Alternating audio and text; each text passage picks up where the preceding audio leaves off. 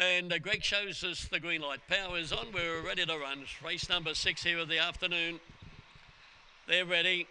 Racing jumped away beautifully off the inside. Fantastic, uh, fantastic Yankee. It leads Good Odd Rada around that first turn. Tap out Ava. A length away to Jingles, keeping a good way back then in the event there to M Grand Rosa. They were followed by Good Odds Megan and checked out a bit Chevy Thor around the turn. Fantastic Yankee, the leader. Good Odds Arada throwing down the challenge on the outside.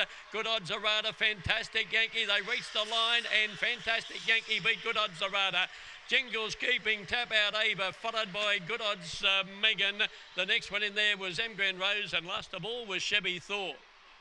Oh, that was a tremendous race between those two greyhounds. Fantastic Yankee came out beautifully off the inside box, and the eight was just uh, as well away. And from there on, it was a battle between the pair of them, and Fantastic Yankee has gone home a little bit the better. By KC and all, Fantastic Dotty, owned and trained by Jason Fletcher. Number eight, second, Good Odds Arana, Kaliz and Solo Pack for Frank Hurst.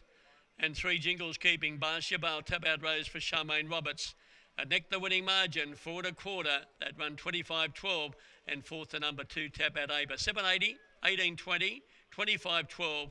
And that run home time 692. 183 and 2, the numbers after a thrilling Maitland Supporters Club juvenile final here at Maitland.